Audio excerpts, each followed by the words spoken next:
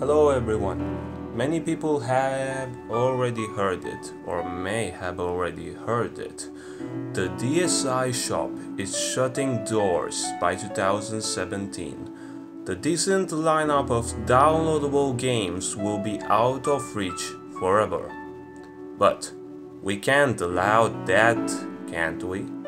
After all, it's Nintendo we're talking about. We want some of those rare, precious resources, and we want them now. The precious DSi exclusive content has been left encrypted in a somewhat dazzling format. A classic binary file that could only have been read from the console it was being downloaded from, making decryption a pain. To gather a key is such an extensive and expensive feat. But a good community with great experience never gives up, no matter how long it may take. In 2014, the DSi SRL extractor came up, a tool that miraculously decrypts the DSiWare into readable DS-ROMs. As impossible it may sound right now, we can't afford to question such miracle, but using it instead. Here's where I come in, I'll tell you how to do it as easy as possible. Are you ready? The tools that you need is a Nintendo DSiWare that came from a DSi, not a 3DS at the DSi SRL extractor, the star of the tutorial, Tinke for game icon and other types of exploration and research, VGMTrans for music extraction, and Mario Kart DS Course Modifier or Every File Explorer for 3D model view and downloads. Here are the steps. First, get the Nintendo DSiWare ready in your computer. This may be done through two methods. Get an SD card on your DSi. Go to System Options, Data Management. Here you can select any DSiWare of your choice that can be transferred. Select it and click copy. The game is now on your SD card but sounds easier than it is. Get the SD card in the PC and localize the DSi within using the specified path. SD card, private and bin. Here are your DSI DSiWare. But they look funny, don't they? They are encrypted, protected from prying eyes into their game title code. Get ready for the next step. Oh, and so, for the people that don't have a DSi, get the DSiWare from the internet. You have a favorite? If so, go for it and search it. Chances are, if you already found encrypted ones, then you are ready for step 3. If not, just go to step 2.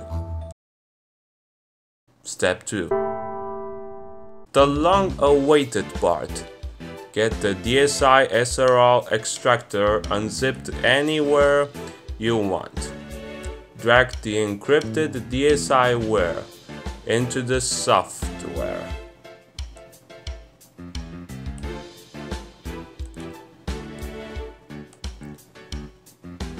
And voila! The program just decrypts your file and is now sitting beside the encrypted one with its real title. And has an NDS ROM format. Perfect! Now, doesn't that feel great? Step 3. With the Nintendo DS file at hand, you can do anything you do when you rip a Nintendo DS ROM. For starters, we can open it with Tinke, a Spanish software that can not only analyze a Nintendo DS file, but can also research its compatibility with the program and can also be used in many other tasks such as unpacking, unzipping, viewing files, and many more. Once we have Tinke running, we can just select a file from our location, that is, the decrypted file. Then it just loads, and we already got all we need in our hands. Here is the game information that already tells the game's title in the languages it was supposed to be. From Japanese, English, Spanish, German, and we can even have the DSi's banner that will also be viewable into Nintendo DSi. We can save it as we want it. There we go. And save. And that's how you save the banner for your own purposes. That is, the banner is not animated. For the moment, I cannot tell you how to do that. As I said before, Tinke tells you how much of the game's files can be recognized. A 73% is a pretty good amount. Now, here are the main things that you need to consider. Here on the root file, we may have many types of files that may differ from a ROM to other. In many cases, you may recognize many files as you did before. Examples are here. We have txt files that are just text files. Looks like it shows some uh, operating stuff that tells you of the game's data if the data is corrupted, if it's saving. These are more just likely developer that informates the people. We can unpack these files only on different occasions. If they are unpackable, well, dot luck. but in many occasions you may already find what you want. For example, if you want the game's music, you can just use the SDAT file. SDAT file is also just the sound database that the game contains. Inside the game's SDAT files, we find the menu theme, and many other themes, as well as sound effects. But what we are looking for are these SWAR. We just have to unpack them and we already got all the ints that may have a song. In other occasions, depending of how is programmed that sound it may not be available here at first. But who knows, as well as we find what we want, we are gravy. We can save the WAB and herd it for later. Let's try to test it out right now. Once you got the files you want, you can just extract them and put them everywhere you want. Now, of course, I won't be the judge of what you want. Second, if you want to view the game files in a very detailed manner, more organized, VGMTrans, as I said before, is your friend. VGMTrans can view the game's audio as it was supposed to be, well, not 100% of the cases. We just search for the ROM wherever it is.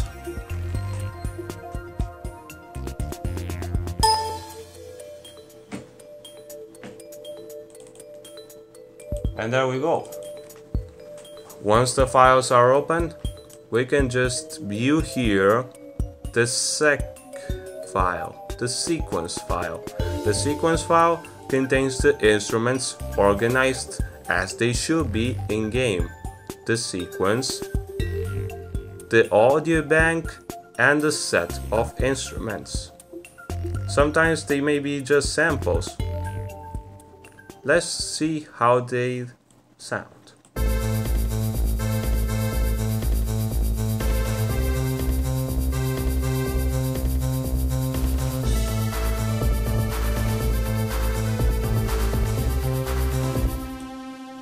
Now, isn't that some sweet bass? But also we want to hear something else.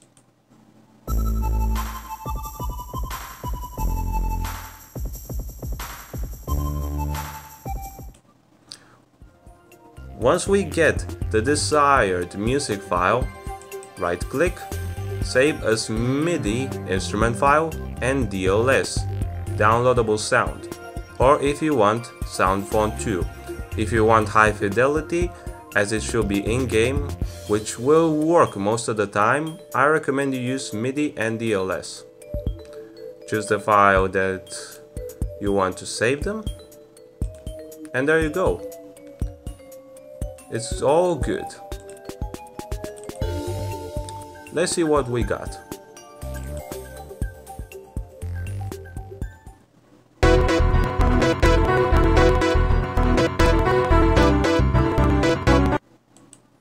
Now of course, this is the file with the instruments as they are arranged, but the file that contains the instruments and how they are arranged, the instrument sounds that is, it's this, the DLS. Both of these should be opened with FL, Fruity Loop Studio. You can search it up as you want. And there you may arrange them as they were and save them as they sound exactly in gameplay. Now of course Fruity Studio comes with a price tag, so watch out. Let's call upon Tinke once again. This time we are going to see the Nintendo DSi browser. Many will tell me that this is not a game, but just a program. But who cares, it's made by Nintendo, and it has something good inside, isn't it? Recognized files are 62%. Keep that in mind that even if not everything in this ROM can be recognized, you cannot underestimate the power of Tinke, because it can recognize some of the sprites and the sounds and even models, but the models are just rare occasions. It's still recommended that you use Mario Kart DS Course Modifier for that. Now, here we have a lucky shot. As you can see, we have PNG photos that can just be viewed with a Windows Photo Viewer or any other type of photo visualization program.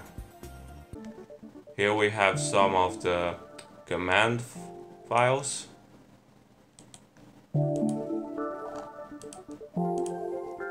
If you want something to extract from here, just click extract. There is the file name and save. The rest is up to you. Because we already have what we want. Now of course we can also have some animations from some pictures. Because those are sprites for you. Can be built with anything. Some will have just a transparent border, some will not. From here on, you can use them for your animations, sprite sheets, whatever. Some can be seen, some cannot be seen. Let's try another one. Let's try another one and see what we can get.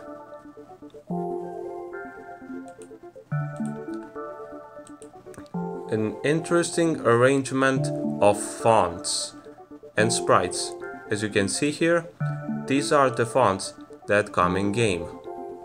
This is a 6-in-1 dictionary which has a long variety of sprites. Isn't that amazing? And yes, you can look at them in width and length and modify the font for the game. Now, if you ask me how to put them back into a DSI format, I'm sorry, I cannot answer you to that question, at least for the moment. Of course, you can also see the palettes of some objects. But that's up to you, where you want to go and how long you want to go with it. Now, as I said before, everything can be done a little bit better with Tinke unlike other files. But when it comes to 3D, what we have here is 3D twist and match and as expected, the game has 3D models. Last but not least, we can use Mario Kart DS Course Modifier or Every File Explorer. This is where they come into place. It may look deceptive, like how this game does have 3D objects. Well, let me tell you, the world is full of surprises. If you see in the models section these leaps, that means these are 3D models. We just have to check them out and see what we can get. Hmm, not so much, eh? Now, with the scroll wheel of the mouse, we just slide the mouse wheel upwards, not down, because it will zoom in, and that is a major disadvantage. We zoom out with the dragging in up of the mouse, and here we go.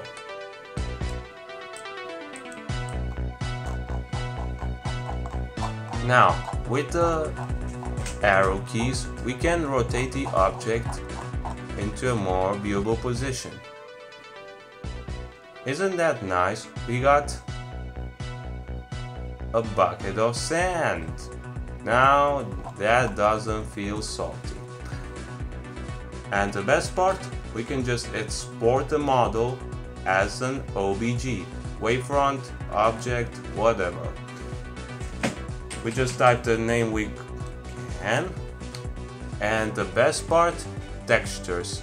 Textures come along with the model. We can just select the format PNG, TIFF or TGA. True Vision, one of the best formats for 3D models. But I just want to stick it easy. I mean just look at this model. We just click OK and we can view them with either 3ds Maya or even Blender. But there is just one problem. Some may be viewable, some not. I'm not responsible for that if that happens. It's just one of the model's many consequences. That is all for today. I hope you may have learned some valuable information. But of course, before closing this tutorial, I want you to hear a beautiful music.